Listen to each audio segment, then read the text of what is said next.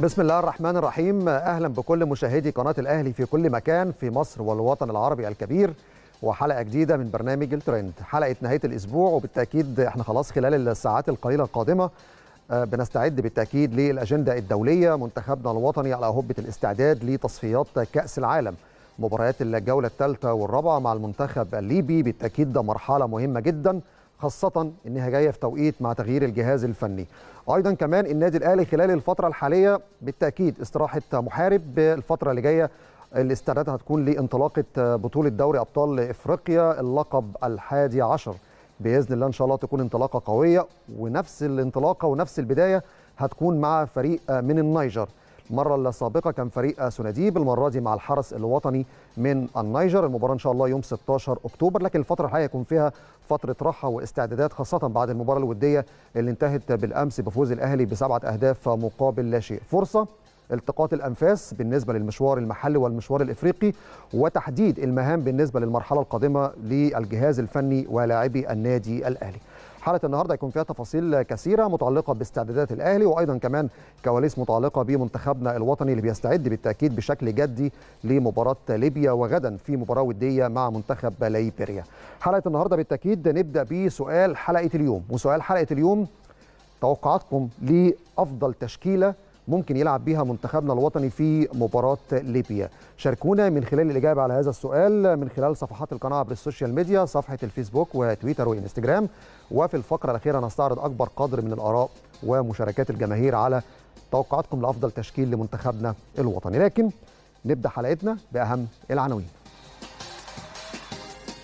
في ترند الأهلي الفريق يحصل على راحة ثلاث أيام. وفي الترند المحلي حسم شكل الدوري الجديد السبت المقبل. وفي الترند العالمي مهاجم ليفربول السابق صلاح الأفضل في العالم. طيب النهارده بالتأكيد في مجموعة من المباريات والنهارده بالتأكيد استكمال مباريات الأمس. بنتكلم النهارده في مباراتين في توقيت واحد أتلانتا هيستضيف يانج بويز وسبعة الا ربع أيضا زينت سان بطرسبورج هيستضيف مالمو في الساعة التاسعة مساء ست مباريات في توقيت واحد. بايرن ميونخ هيستضيف دينامو كييف. بنفيكا هيستضيف برشلونة. آه مانشستر يونايتد هيستضيف فيا ريال يوفنتوس هيستضيف تشيلسي. ريد بول سالزبورج هيستضيف ليل. وفيلفسبورج هيستضيف إشبيلية. طبعا بالأمس كانت في مباريات مهمة أيضا كمان. ليفربول قدر يفوز على بورتو بخماسية. باريس سان جيرمان ومانشستر سيتي فوز لباريس سان جيرمان بهدفين وبالتأكيد كان هدف مهم أيضا ليونيل ميسي. طيب مباريات كأس الليبرتادوريس النهارده نصف النهائي لقاء الإياب ما بين برشلونة جواكويل مع فلامينجو. المباراه النهارده بالتأكيد الساعة الثانية والنصف من صباح الغد وكانت مباراة الذهاب انتهت بفوز فلامينجو بهدفين مقابل لا شيء. طيب مباريات اليوم أيضا في كوبا سود أمريكانا نصف النهائي من لقاء الإياب. ليبرتاد النهارده في الساعة الثانية عشرة والربع من منتصف الليل هيستضيف برجنتينو وبالتأكيد أيضا مباراة صعبة ليبرتاد لأنه لازم يفوز على برجنتينو بثلاثة أهداف مقابل لا شيء لسابق فوز برجنتينو بهدفين مقابل لا شيء في لقاء الذهاب. طيب دي مجموعة مباريات النهارده وبالتأكيد الحدث الأهم هيكون متابعة مباريات دوري أبطال أوروبا والمباريات الحاسمة والمباريات المهمة. لكن أخرج إلى فاصل وبعد الفاصل نرجع مع بعض وفقرة ترند الترند. وعندنا تفاصيل مهمة بخصوص الدوري والمرحلة اللي جاية وأيضا كمان آخر أخبار الأهلي قبل الراحة السلبية اللي حصل عليها الجهاز الفني واللاعبين لمدة ثلاث أيام.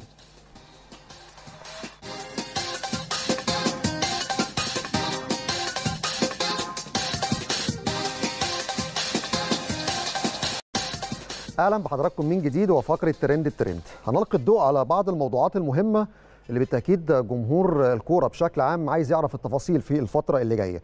خلال الفترة الحالية كلنا عارفين ان تم تشكيل رابطة لأندية الدوري الممتاز بالتأكيد لإدارة المسابقة خلال الفترة القادمة. الموضوع مهم جدا وأهميته بتأتي من إن الرابطة دي بالتأكيد هيكون عليها مهام كبيرة جدا خلال الفترة اللي جاية. ولكن الدور اللي منوطة بيه الرابطة الفترة الجاية بالتنسيق مع اتحاد الكورة واللائحه بتدي الاختصاصات لمين؟ في الملفات بالنسبة للمرحلة اللي جاية. هبدأ معاكم وهستعرض تصريح مهم جدا للأستاذ أحمد دياب اللي تم انتخابه رئيسا لرابطة الأندية في الأسبوع الماضي. قال سنعلن مواعيد جدول الدوري حتى موعد بطولة أمم إفريقيا في الكاميرون القادمة وسنعلن بعد ذلك باقي الجدول حتى نهاية الموسم بعد نهاية البطولة وحسم شكل الدوري الجديد هيكون يوم السبت المقبل بعد تقديم ثلاثة اقتراحات للأندية. طيب معنى كده إن المواعيد اللي هيتم إعلانها الفترة الجاية طبقا لتصريح الأستاذ أحمد دياب هتكون حتى موعد كأس الأمم يعني الدوري هيتوقف لغاية أول يناير لأن طبعا كأس الأمم هينطلق يوم 9 يناير تحديدا هيكون في انضمام للعيبة قبل البطولة بحوالي أسبوع أو أسبوعين يعني بنتكلم الدوري هيتوقف لغاية 25 ديسمبر. فبتتكلم من شهر 10 ل 25 12 هيتم إعلان شكل الدوري في المرحلة اللي جاية الاقتراحات اللي اتقدمت في ثلاث اقتراحات. دوري من دورين اللي هو المعتاد دوري من مجموعتين وأعتقد هيبقى صعب تنفيذه لأنه تسويقيا كمان هيكون فيها خسائر كبيرة ودوري من دور واحد ثم مرحلة ال play off أول ثمانيه هيلعبوا مجموعة واحدة مع بعض عشان يتحدد بطل الدوري والمراكز الثاني والثالث والرابع والعشرة في مؤخرة الجدول هيلعبوا دوري مع بعض عشان يتحدد الهابطين للدرجة الثانية والدوري ده ميزته إن عدد الأندية الهابطة أو عدد مباريات الدوري بدل ما تكون 34 أسبوع لن تتراوح أو لن تزيد عن 24 أسبوع فيتم توفير 10 أسابيع وده بالتأكيد مهم عشان الأجندة اللي جاية هتكون مزدحمة جدا حتى نهاية الموسم. طيب على المقابل أو في المقابل الأستاذ أحمد مجاهد رئيس اللجنة الثلاثية لاتحاد الكرة المعينة من قبل فيفا كان قال تصريح يمكن عمل لغط شوية في الوسط القروي خاصة بعد تشكيل الرابطة قال من حق رابطة الدوري تشكيل لجنة لإدارة الدوري الممتاز لكنها لا تملك التحكم في شكل المسابقة. اتحاد الكرة فقط هو من يملك ذلك. الموسم المقبل صعب جدا. تغيير المسابقة مرتبط بكثير من الأشياء الفنية والتسويقية والتنظيمية. يمكن أن نصل لشكل مناسب بوجود ممثلة 18 نادي والرعاة والقنوات الناقلة وممثل اتحاد الكورة. هنا التصاريح التصريحات تقدر تقول في تضارب. يعني تصريح الأستاذ أحمد دياب بيقول سنعلن مواعيد جدول الدوري وفي اقتراحات اتقدمت للأندية عشان شكل المسابقة. في المقابل اتحاد الكرة واللجنة الثلاثية بيقول من حق الرابطة تشكيل لجنة لاداره الدوري لكنها لا تملك التحكم في شكل المسابقة. شكل المسابقة اللي هو إيه؟ هنفضل زي ما إحنا دوري من دورين ولا دوري مجموعتين ولا دوري من دور واحد ثم مرحلة البلاي أوف. طبقا للائحه إحنا مش هنقول بقى وجهات نظر. طبقا للائحه اتحاد الكرة. طبقا للائحه ليه الحق إن هو فعلا يقول آه أو لأ على شكل المسابقة؟ والرابطة مش من حقها إن هي تقول شكل المسابقة إيه؟ ده طبقا للائحه لذلك أنا أتمنى خلال الساعات القادمة بغض النظر عن اللائحة أو بالتنسيق بخصوص اللائحة إن يتعمل بروتوكول عمل ما بين الرابطة مع اتحاد الكورة. ده لمصلحة الرابطة.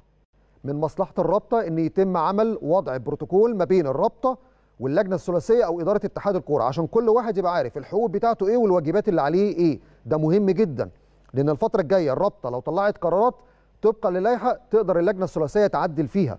أنا بقول كلام طبقا للوائح اللي موجودة في عمل الروابط الأندية أو رابطة الأندية خلال الفترة اللي جاية. فأتمنى إن الرابطة عشان تطلع بره الإطار ده تحاول تجري اتصالات مع اتحاد الكره عشان يكون في بروتوكول الفترة الجاية عشان الرابطة تقدر تقوم بدورها في المرحلة الجايه وما يجيش اتحاد الكره يقول لك لا القرار ده مش مناسب فيلغيه. لأن اللوائح بتسمح إن اتحاد الكره يعمل الخطوة دي. طيب أدينا قلت من البداية قبل ما تبدأ المسابقة وقبل ما يتم إعلان أي قرارات بالنسبة للمرحلة اللي جاية ده لمصلحة الأندية. ولمصلحه الرابطة عشان تبدأ تشتغل بشكل سليم في الفترة اللي جاية. طيب أنتقل بقى بالنسبة لأخبار الأهلي في المرحلة اللي جاية. مستر بيتسو موسيماني يمكن امبارح كان عامل مباراة ودية وتقدر تقولوا كده يعني هي مباراة كانت فرصة عشان يشارك فيها عدد كبير من اللاعبي القطاع الناشئين واللعيبة لما بالتأكيد ما بتشاركش بشكل أساسي محمد محمود عدد من اللعيبه امبارح شفناه حسام حسن يعني كانت فرصة طيبة نشوف كمان رامي ربيع بعد فترة ممكن يكون غايب يعني فاطمنا على الحالة البدنية الحالة الفنية. آه سبع أهداف مقابل لا شيء. شايفين تمريرة من رامي ربيعة. تمريرة طولية لحسام حسن راح على طول بص للمرمى شاط. يعني كل دي بدايات كويسة وانت لسه عايز تدخل اللعيبة. في مود المباريات واللعب الفترة الجاية ويبقى تجانس كويس جدا فرصة كويسة جدا ونقدر نقول يعني مكسب معنوي في إطار المرحلة الحالية في ظل طبعا إن في لعيبة كتيرة جدا انضموا لمنتخباتهم في الفترة الحالية سواء منتخب أنجولا أو أو أقصد منتخب مالي منتخب تونس مع علي معلول منتخب مصر اللي استدعى سبع لعيبة. شفنا كمان أحمد عبد القادر من ضمن اللعيبة المميزة اللي ظهرت بشكل كويس حتى في مباراة انبي في كأس مصر. بيتسو موسيماني إدى الفريق راحة ثلاث أيام ابتداء من النهارده. فبنتكلم يعني النهارده كان في تدريب صباحي ابتداء من بكره الخميس الجمعة السبت هيكون في راحة سلبية والفريق يستأنف تدريباته يوم الأحد اللي جاي. على هامش المران الصباحي النهارده بعد المباراة الودية اللي أقيمت بالأمس كانت في تدريبات استشفائية للاعبين اللي شاركوا في ودية مباراة الغابة والمران النهارده يمكن كان مدته بالظبط 45 دقيقة بدأ بمحاضرة فنية سريعة للجهاز الفني ثم وحدات بدنية مختلفة من الجهاز الفني مع اللاعبين. شايفين كمان اهو جونيور اجاييه لسه بيواصل تدريباته مع النادي الأهلي انتظارا بالتأكيد عشان يشوف المرحلة الجاية ملف باقي اللاعبين في المرحلة اللي جاية. طاهر محمد طاهر الحمد لله شايفينه هو في التدريبات الجماعية لأن كان طبعا في مشكلة بالنسبة بإصابة طاهر أو حتى إمكانية مشاركة كهرباء أو حسين الشحات في الفترة الجاية. قدامنا طبعا تدريب الحراس حراس المرمى.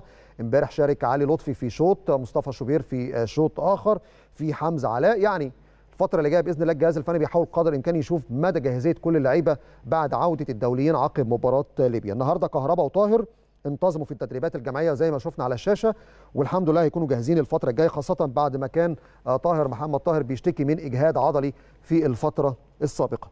دكتور أحمد أبو عبلة رئيس الجهاز الطبي النهارده كان بيتكلم على تفاصيل إصابة أو تأهيل حسين الشحات وياسر إبراهيم. قال الاثنين بيستكملا في الوقت الحالي تنفيذ البرنامج التأهيلي للتعافي من الإصابة. والثنائي قطع شوط كبير جدا في تنفيذ البرنامج التأهيلي للتعافي من الإصابة وبيقترب من العودة للتدريبات الجماعية في الفترة اللي جاية. وتحديدا ابتداء من يوم الأحد القادم بإذن الله هيكونوا جاهزين في التدريبات الجماعية. حسين شحات كان عنده إصابة في العضلة الضمة وياسر إبراهيم كان عنده إجهاد خفيف في العضلة الأمامية. بإذن الله نتمنى عقب الأجندة الدولية تكون كل اللعيبة جاهزة للمرحلة الجاية لأن الانطلاقة هتكون مع الحرس الوطني بطل النيجر يوم 16 أكتوبر في النيجر وانطلاقة جديدة في دوري أبطال إفريقيا انتظارا بقى لانطلاق الدوري في أواخر هذا أو أواخر شهر أكتوبر القادم. أخرج إلى فاصل وبعد الفاصل نرجع مع بعض ونشوف الجديد بالنسبة لترند الأهلي والمحتوى اللي موجود عبر ال social media.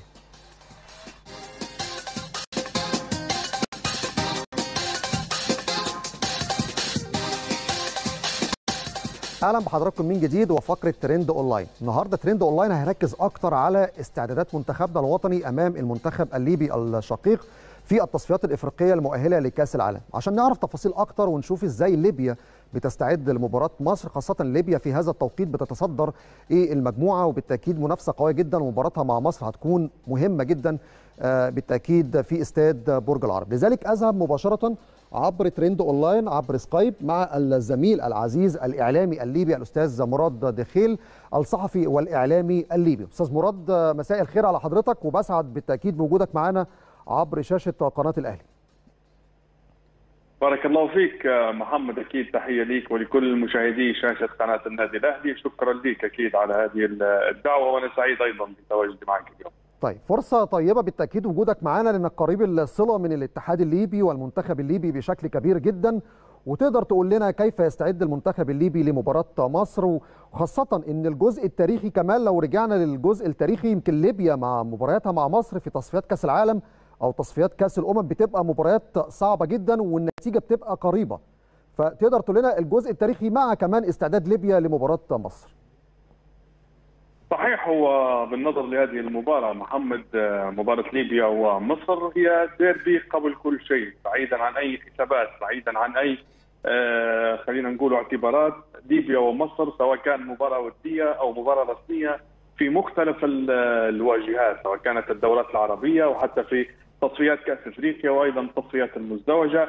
دائما ما يكون هذا اللقاء آه يحظى بمتابعة سواء كان إعلامية سواء كان متابعة أيضا جماهيرية وكذلك متابعة حتى فنية لكلا المنتخبين، الكل يراقب مصر وأيضا أيضا في مصر الكل يراقب ليبيا، نعرف اليوم أن التحضيرات بدأت لكلا المنتخبين، كلا المنتخبين يقيم معسكر أعداد وأيضا حتى استعدادات لهذه المباراة، مصر نعلم جيدا بأنها تحضر لليبيا بمواجهة ليبيريا وديا. أيضا المنتخب الليبي اكتفى بمعسكر أعداد قصير في تركيا وتحديدا بمدينة أنطاليا التركية اللي تحول لها قبل أيام قليلة.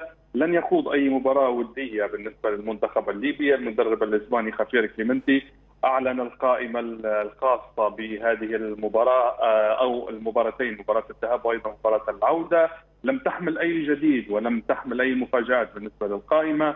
اللاعبين هم نفسهم الذين خاضوا لقائي الجابون وانغولا. منتخب مصر هو الآخر كارلوس كيروش اللي تولى زمام الأمور مؤخرا رغم أن حسام البدري صار بالمنتخب المصري. أعتقد على أحسن ما يرام خصوصا أنه لم يخفق في أي مباراة تعادل لكنه لم يخفق طيله توليه المهمة. لكن الاتحاد المصري أو اللجنة الخماسية رأت بأن كارلوس كيروش الثلاثية.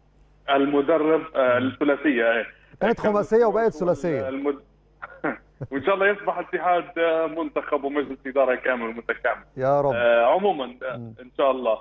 فكيروش هو مدرب يعني برتغالي. أعتقد محمد هو البرتغالي الأول اللي يشرف على تدريب المنتخب المصري تقريبا عبر التاريخ. لم يقود منتخب مصر مدرب برتغالي مدرسه مختلفه لديه خلفية ودراية بالكرة الإفريقية. سبق وان درب تقريبا جنوب أفريقيا لكن كيروش أعتقد بأن من خلال المؤتمر الصحفي أثناء تقديمه كمدرب للمنتخب المصري وأيضا من خلال حتى التصريحات اللي بالأمس الرجل يبدو متخوف، الرجل يبدو بأنه في محك صعب وصعب جدا وتحت ضغوطات كبيرة سواء إعلامية وأيضا حتى جماهيرية، المطالبة بالفوز على المنتخب الليبي هي مطلب وحيد ولا بديل فيها ربما للفوز بالنسبة للمنتخب المصري من أجل العبور إلى كأس العالم.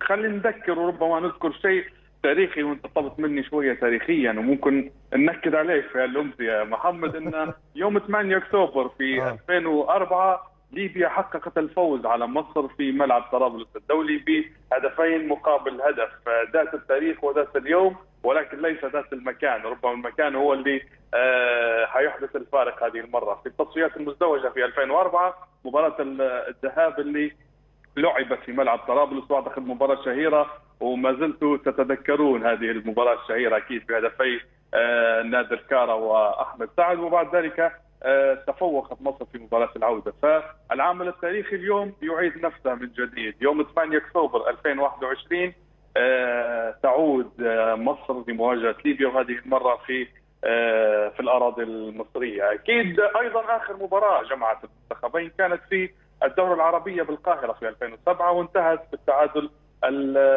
السلبي. لكن من كمان من النقط الإيجابية يا مراد يمكن في كأس الأمم الإفريقية يمكن كانت آخر مواجهة بينهم في البطولات المجمعة. منتخب مصر أعتقد يومها فاز بثلاثة أهداف مقابل لا شيء. البطولة نظمتها مصر عام 2006 صحيح. آه. صحيح. ذلك المباراة اللي كانت أيضا في ملعب استاد القاهرة وحضور جماهيري كبير والنسخة اللي استضافتها مصر في تلك الفترة في مجموعة جمعت ليبيا ومصر وأيضا كوديفوار والمغرب مجموعة نارية أعتقد. وفي تلك الفترة كان التفوق للمنتخب المصري. لكن ذكرت المباراة اللي تزامنت مع هذا التاريخ اللي هو يوم 8 أكتوبر 2004 كانت في تصفيات كأس العالم فعلا. وأيضا إيه التصفيات المزدوجة. وأيضا المباراة الأخيرة اللي جمعت المنتخبين. عموما لغة الأرقام ولغه خلينا نقول الحسابات باتت لغة خلينا نقول ما تقدمش أي إضافة ولا تعني شيء في كرة القدم الحديثة والعصرية. نعرف بأن في مفاجآت عديدة في كل المباريات سواء كانت على صعيد القارة الإفريقية وأيضا حتى في صعيد أو على الصعيد الأوروبي. أعتقد بأن لغة الميدان هي اللي حتحسم وحتكون هي الفيصل وأكيد اللي مركز واللي مجهز جيدا لهذه المباراة هو اللي حيفوز ليبيا حتلعب يعني ممكن بأريحية أكبر من المنتخب المصري وهذه نقطة إيجابية بالنظر للست نقاط اللي حصدتها في أول جولتين من التصفيات المونديالية. طيب نعم. آخر سؤال يا مراد وهو في جزئيتين، الجزئية الأولى م. مباراة الجولة الرابعة في بني غازي هتكون بحضور جمهور ولا بدون حضور جمهور؟ والجزئية الثانية معسكر منتخب ليبيا هل في كل اللعيبة موجودة ولا عشان فريق الاتحاد وأهل طرابلس عاملين معسكر في مصر فاللعيبة مش موجودة كلها مع المنتخب الليبي في معسكر تركيا؟ لا لا هو بخصوص المباراة بالجمهور ومن غيرها أعتقد بأن الاتحاد الليبي لكرة القدم يسعى بأن تكون المباراة بالجمهور لكن قبل ذلك طلب إقامة المباريات بالنسبة لمباراة المنتخب الليبي مع الجابون وأيضا مباراه مباراة الأهلي طرابلس مع فريق حي الوادي نيالا السوداني في تصفيات الكونفدرالية الإفريقية. ولكن لم يوافق الكاف على هذا الطلب، أعتقد بأن الطلب حيتجدد ولكن الكاف أتصور بأنه سيحاول قدر الإمكان بأنه يخرج بهذين المباراتين إلى بر الأمان بأخف الأضرار، نعرف بأن اليوم بنسبة كبيرة كلا المباراتين ستكون بدون حضور جماهيري. وأعتقد بأن هذه نقطة إيجابية بالنسبة للمنتخب الليبي في مصر وأيضا إيجابية للمنتخب المصري في ليبيا، نعرف بأن الجمهور الليبي لو سمح الكاف بتواجد الجمهور في الملاعب أو في الملعب ملعب شهداء المدينة وملعب المباراة فحيتواجدوا بكثرة. لكن أتصور بأن كلا المباراتين ستكون بدون حضور الجمهور. بالنسبة لمعسكر المنتخب في أنطاليا القائمة حتى اللاعبين اللي من ناديي الاتحاد والاهلي طرابلس واللي ذكرت يقيموا في معسكر أعداد في في القاهرة.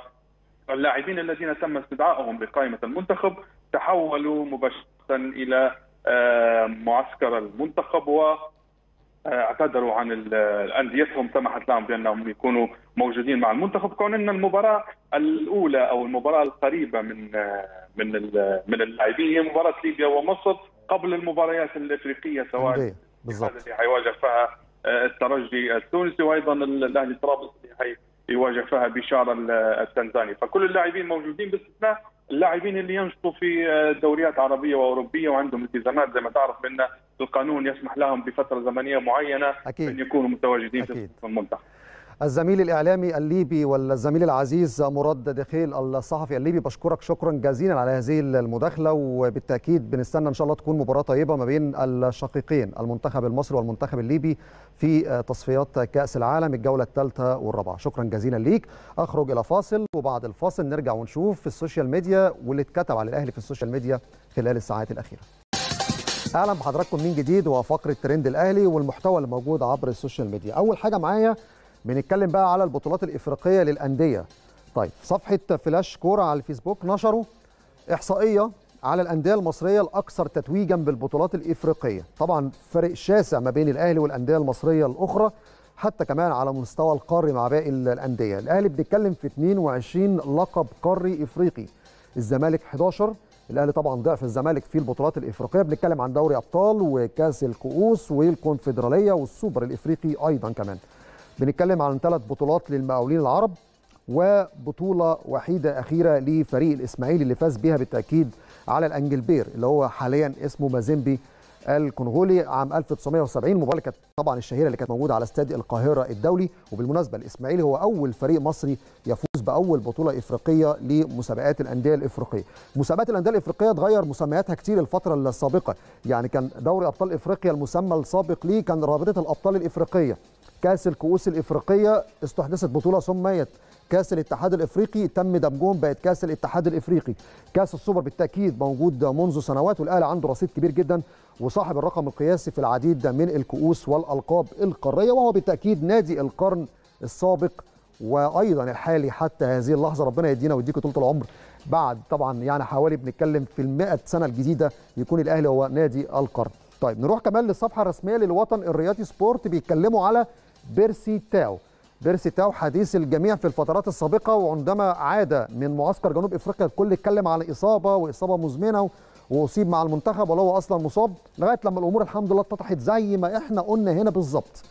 مفاجأة ساره لبيرسي تاو في الأهلي قبل رحلة النيجر بدوري أبطال إفريقيا. الخبر بيقول على عهدة الزملاء في الوطن سبورت إن في مصدر في الأهلي ذكر إن بيرسي تاو هيكون جاهز للسفر مع الأهلي لمواجهة الحرس الوطني في النيجر يوم 16 أكتوبر. المفاجأة السارة إنه هيكون جاهز وهيسافر مع البعثة إلى النيجر وهيكون جاهز لهذه المباراة. الأسبوع الماضي قلت بيرسي تاو ما فيش إصابة مزمنة، اتحاد جنوب إفريقيا أصلا بعت للنادي الأهلي خطاب رسمي قال إن اللاعب أصيب أثناء وجوده في معسكر منتخب جنوب إفريقيا وأكدت قبل الإعلان الرسمي إن بيرسي تاو لن يسافر في المعسكر القادم لمنتخب جنوب إفريقيا وبالفعل هوجو بروس أعلن القائمه وبيرسي تاو مش موجود وما كانش في أزمة ولا اللاعب زعلان وقال لا لازم أسافر والمنتخب قال لازم اللاعب يجي لي. مفيش حاجة من الكلام ده خالص. لكن للأسف أنتوا عارفين دايما أي حاجة متعلقة بالأهلي دايما الناس بتحب على ال social media تكتب فيها كتير يعني. طيب الحساب الرسمي لليوم السابع على تويتر كتبوا كهربا يترقب فرصة حقيقية بالأهلي بعد التألق أمام إنبي. كهربا من اللعيبة لو بصينا على السكاوتنج والأرقام من أفضل اللعيبة هو وحسين الشحات في الموسم السابق. وبيتسو موسيماني دايما بيعتمد على كهربا في فترات مهمة جدا. لكن الفترة اللي جاية الفرصة هتكون للعيب اللي يقدر يستغل النص فرصة. تحديدا في هذا المركز بنتكلم عن كهربا حسين الشحات طاهر محمد طاهر بيرسي تاو لويس ميكيسوني وليد سليمان. أنتوا بتتكلموا عن سبع ثمان لعيبة أسمائهم كبيرة جدا في البطولات الإفريقية فاللعيب اللي هيفرض نفسه وهيقدر يستغل نص فرصة يجيب بيها أهداف هيفرض نفسه على التشكيلة الأساسية وبالتأكيد الجهاز الفني هيكون سعيد لما يكون عنده لعيب أساسي بيحرز أهداف ويقدر يجيب أهداف من نص فرصة مع وجود كمان محمد شريف وحسام حسن مهاجمة الأهلي في الفترة اللي جاية. طيب نروح كمان لليوم السابع والنهاردة بيتكلموا على صفقة يمكن الميركاتو الحالي في الصيف ما حدش جاب سيرته لكن الحساب الرسمي اليوم السابع على الفيسبوك نشروا إن الأهلي يحسم الجدل بشأن ضم نجم الإسماعيلي في ميركاتو الصيف. مصدر في الأهلي قال لما سئل على باهر المحمدي هل الأهلي ممكن يفكر في باهر المحمدي في الفترة اللي جاية؟ يمكن المصدر قال الأهلي لا يفكر في ضم أي لاعب من الإسماعيلي في الوقت الحالي ومعلوماتي إن الأهلي ما فكرش في ا‍يس في اسم أي لاعب من لاعبي الإسماعيلي وباهر المحمدي كان دايما بيتردد في السنوات السابقة لكن السنة دي الأهلي ما فكرش في باهر الاهلي عنده مدافعين وطلع كمان سعد سمير إعارة لمدة سنتين في فيوتشر FC. موجود معانا رامي ربيعة موجود ياسر إبراهيم موجود كمان أيمن أشرف موجود بدر بنون فما فيش مكان ده أنت عندك مدافعين بعدد زائد وطلعتهم إعارات عشان الفترة القادمة. فموضوع باهر المحمدي غير صحيح. وعايز قبل ما انتقل للجزئية دي دايما الإعلام بيركز على فكرة الأهلي خد مين من الإسماعيلي؟ يا جماعة السنة دي فخر الدين بن يوسف أبرز لاعب في نادي الإسماعيلي. انتقل بكل سهولة ويسر إلى نادي بيراميدز. لا شفت السوشيال ميديا ولا شفت حد اهتم. ده كمان مش مش فخر الدين بن يوسف. لا ده كمان كابتن إيهاب جلال المدير الفني. يعني المدير الفني وفخر الدين بن يوسف وحسين السيد اللي كان فرصة إن يكون موجود في الإسماعيلي الفترة اللي جاية انتقل كمان لنادي بيراميدز. والكابتن إيهاب جلال ما راحش لوحده. ده هو والجهاز المعاون بالكامل. يعني جهاز فني بالكامل رأس حرب أساسي وفرق مع الإسماعيلي في الفترة الأخيرة والظهير الأيسر الأساسي حسين السيد. لا شفت السوشيال ميديا اهتمت لكن دايما لما تلاقي الأهلي بيفكر في اسم أو حتى الإعلام يطرح اسم بيبقى موضوع كبير جدا بخصوص كل اللعيبة. آخر حاجة معايا بطولات kick off بتنشر قائمة أغلى 10 حراس مرمى في أفريقيا. أونانا طبعا الحارس الكبير اللي بيلعب في الدوريات الأوروبية بيتصدر ومحمد الشناوي سادس في قائمة أغلى 10 حراس في القارة الإفريقية. ده كان ترند الأهلي والمحتوى الموجود معانا عبر السوشيال ميديا. أخرج إلى فاصل وبعد الفاصل نواصل مع حضراتكم باقي فقرات أو آخر فقرة في برنامج الترند.